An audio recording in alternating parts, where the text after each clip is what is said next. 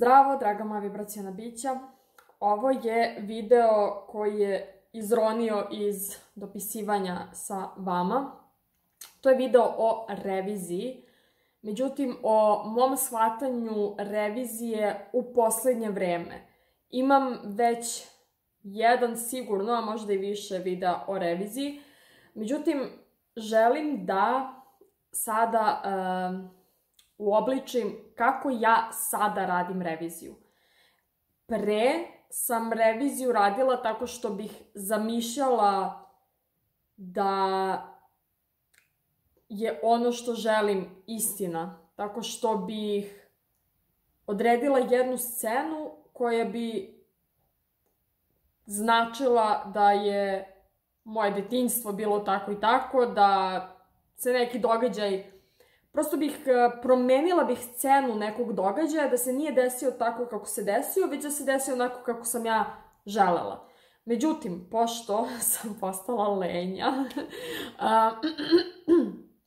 i vizualizacije ne radim više toliko i dalje ih radim, međutim, vizualizacija putem afirmacije mi je lakša.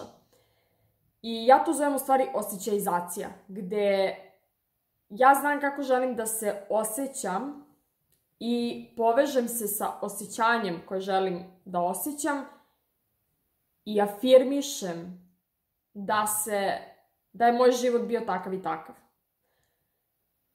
Recimo, da želim da, recimo da sam imala loš odnos sa nekim i ne, recimo da nisam imala novca celog života i da želim da budem bogata da, da želim da, prosto da nikad nisam imala problema sa novcem ili da to nikad nije bio, nikak, da nikad nije bio novac neka upitna stavka u mom životu.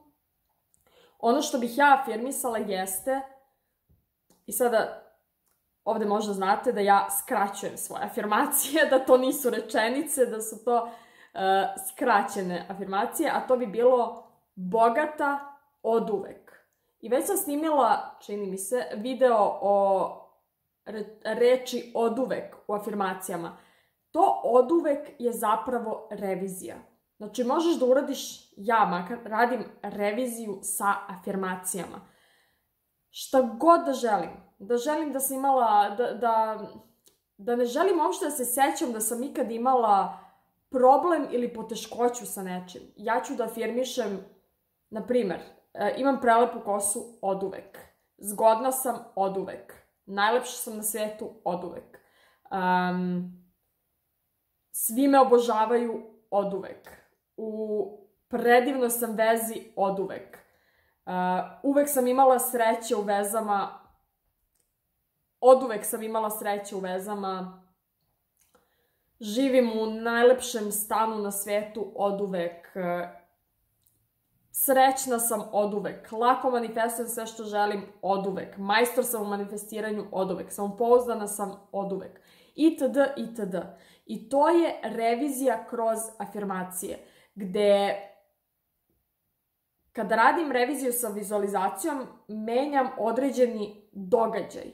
I to sam radila neko vreme i to mi je bilo veoma delotvorno i bitno, rekla bih, neko vreme Međutim, sad sam prešla na ovaj drugi način, jer ne znam, prosto da li sam sve već ispravila u svom životu što sam htela, e, da kažem, u tim nekim specifičnostima, jer sam ja to dosta radila. I to sam radila inspirisano. Nisam ja sada ono, pokušavala da se setim loših trenutaka u mom životu ili neprijatnih trenutaka u mom životu i kao, e sad ću ja to da idem da ispravim.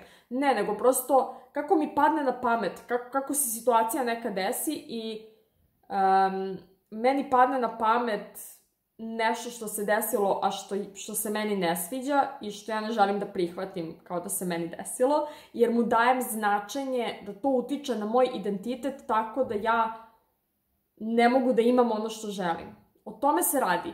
Što ja za određene događaje u svom detinstvu, u svom životu, mogu da vežem značenje recimo, da sam ja imala najbolju drugaricu u detinstvu i da je ta drugarica prestala da se druži sa mnom i da je otišla da se druži sa nekim drugim i ja sada za taj događaj vezujem značenje da niko ne želi da se druži sa mnom, na primer, da, da me ljudi ne vole, da teško stičem prijatelje, teško zadržavam prijatelje i ovo može se primeni na bilo koju temu.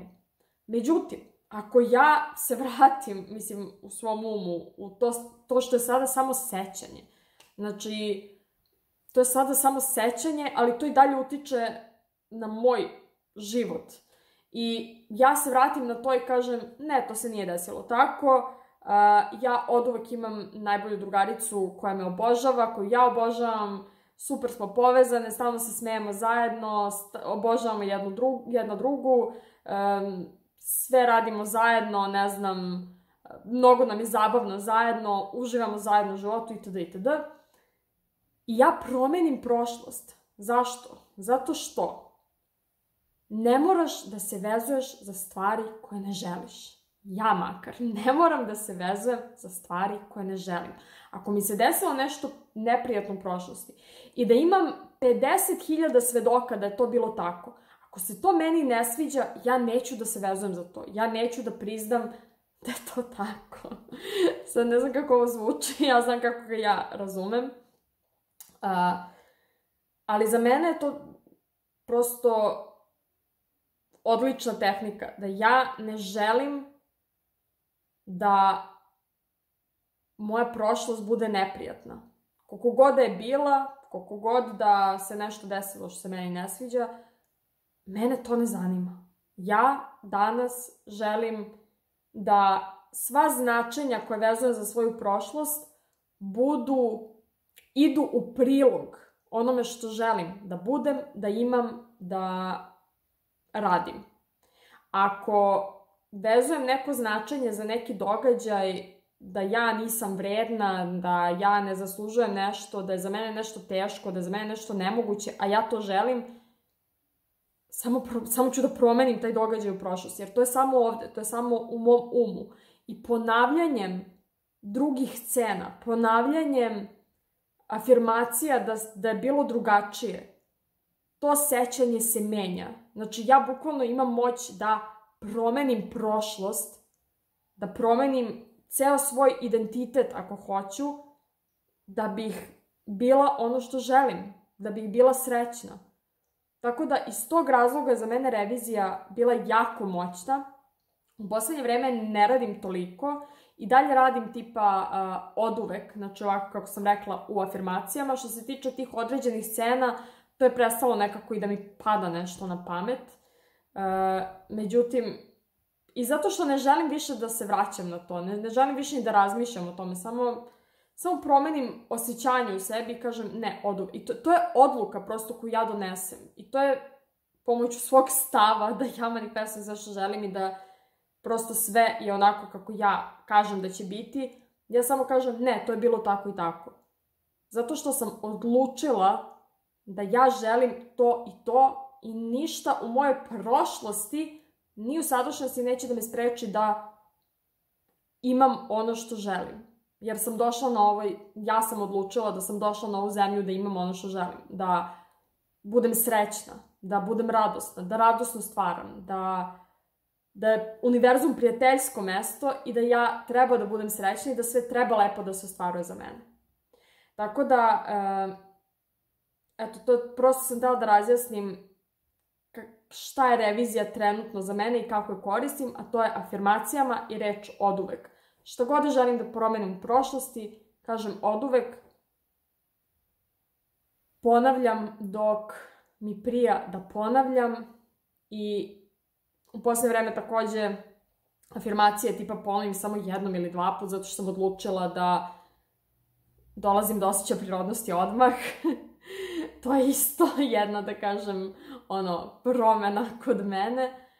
Ali eto, to je otprilike to za reviziju. Ako imate bilo kakva pitanja, molim vas, pišite mi u komentarima na Instagramu ili na mail.